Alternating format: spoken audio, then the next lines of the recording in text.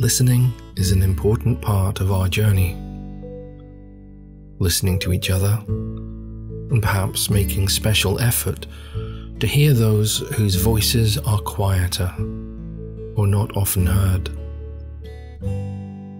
It means at times helping them speak out, creating a space for them where we are all confident to speak from our hearts, confident that what we want to say will be listened to, will be heard, valued, and respected. It is all part of being a synodal church.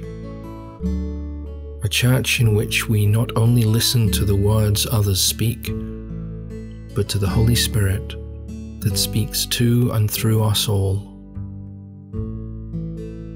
In a synodal church, we come to decisions through the action of the Spirit, through prayer, through discernment of what the Holy Spirit is saying through the whole community. But how easy is it to become involved in that decision making process? To what extent is it promoted and encouraged? How involved do you feel? How welcome is your contribution? And how well do we make decisions together?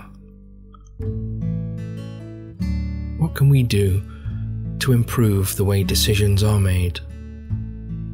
To ensure that everyone's voice can be included? How well do we understand discernment? Is it one of those words that we hear used but aren't really sure what it means? How well do we recognize and value the place of prayer in making decisions? How confident are you that we can grow in our attentiveness to the guidance of the Spirit as we grow in our openness of hearts to each other.